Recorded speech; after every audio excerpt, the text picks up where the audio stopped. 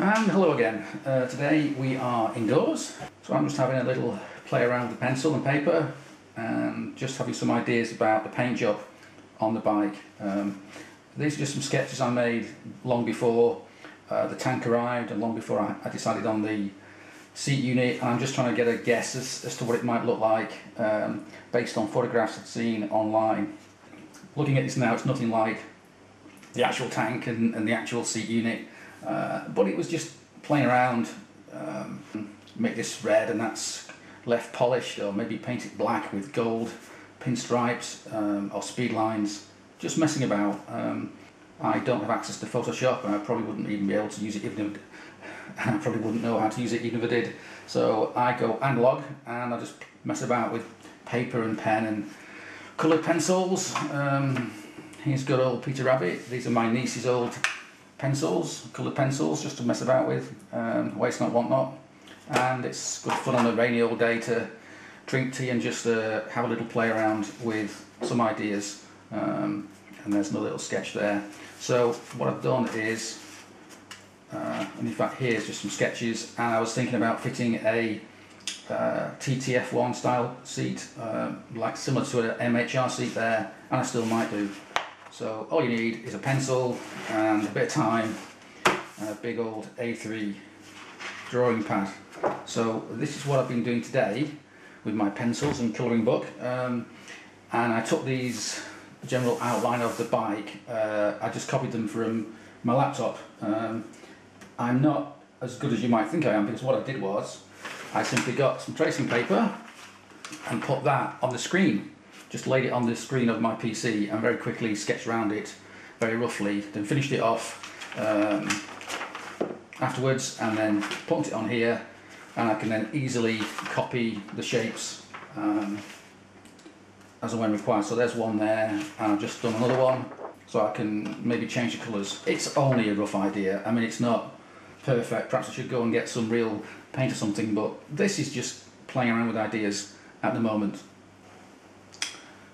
And so as you can see my current idea was to paint the whole thing red, maybe Ducati red or slightly darker red, um, like Ferrari red or even Le Mans red and leave this uh, knee cut out polished alloy.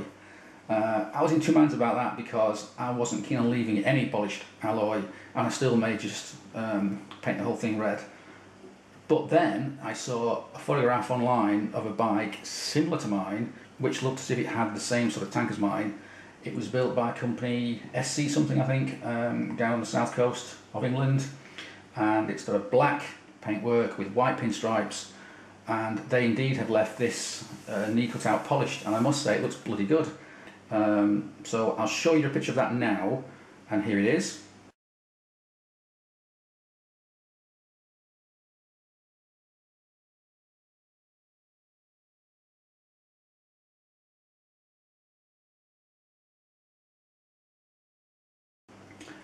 as you can see it's a nice bike I mean it's not perfect there's some things on there that I'd change but the paintwork is spot on but obviously I'm not going to copy that so we've got to come up with some different ideas.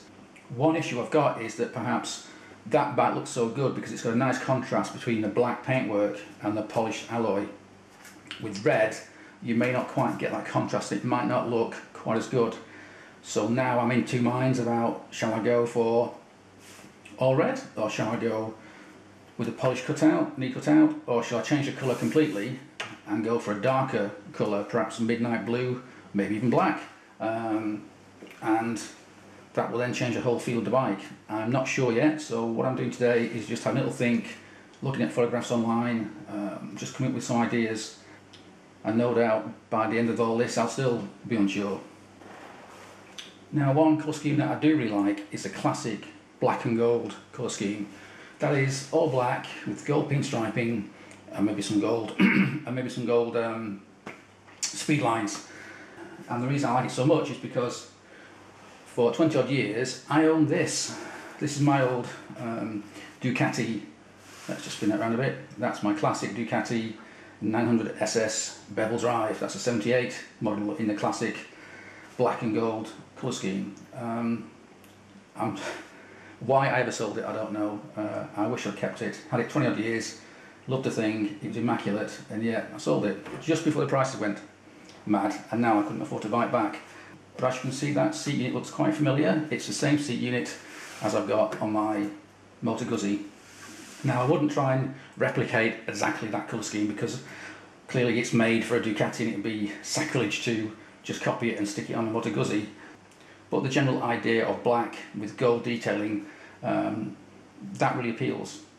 And in fact, the Moto Guzzi decals that will go on the tank and on the tail section, they are gold and they're surrounded by black um, pinstripe, so that will work. So that's another option. And another good thing about black is it kind of matches with anything. So if I've got some polished alloy, some shiny exhaust pipes, it kind of works really, really well. So that said, I'm now in a bit of a quandary. I've got to think this through. Um, maybe if we make it all black, then maybe we can do something here um, with gold uh, speed stripes and pinstriping and so on. Who knows?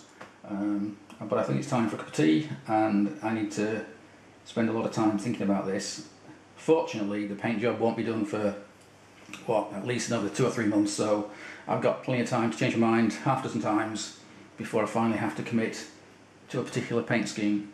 Um, and that's what I'm doing this morning. If you've got any bright ideas for the paint scheme, I would love to hear them. And so I'll carry on with this and um, I'll leave it there. Thanks for that and cheers.